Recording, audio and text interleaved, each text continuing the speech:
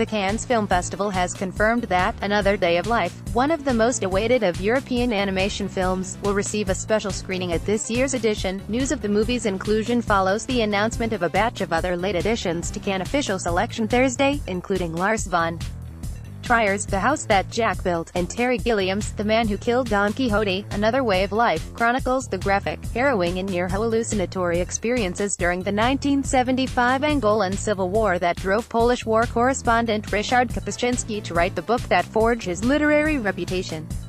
The animation live-action hybrid film wowed attendees at an industry gathering last month at Bordeaux's cartoon movie event, where 15 minutes of footage was shown at a sneak peek screening. Attendees were impressed with the mix of animation, live-action cutaways, archive footage and contemporary interviews.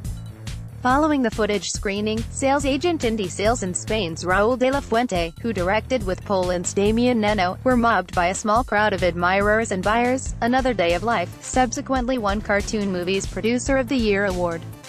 It joins a small but growing number of European animation features to have made the cut at Cannes official selection.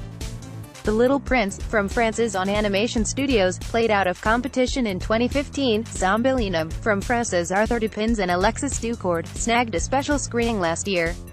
Cannes artistic director Thierry Frémaux has previously programmed major Hollywood animation titles, such as Up, which opened Cannes in 2009, and Inside Out in 2015.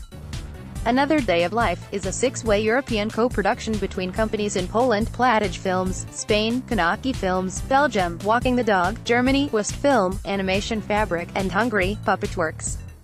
The Cannes Film Festival runs May 8 to